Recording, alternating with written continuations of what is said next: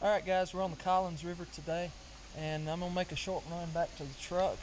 Um, the difference in this video from the other two is instead of having my pin in the fourth hole, I've got it in the third hole and I was just running in about six-ish inches of water uh, with this setup and definitely scary but hey, here we go. We're going to fire it up and take off. So here we go.